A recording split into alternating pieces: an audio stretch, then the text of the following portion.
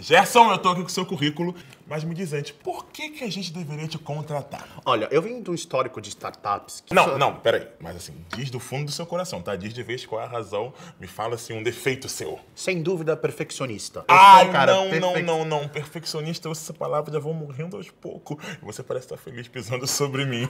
Com licença, o, o senhor acaba de citar raça negra? Raça negra diz etnia? Não, é, me refiro ao conjunto de pagode dos anos 90, sabe? Faz parte da nossa infância, nossos pais provavelmente ouviam bastante. Ele faz parte do teste? Como é que faz?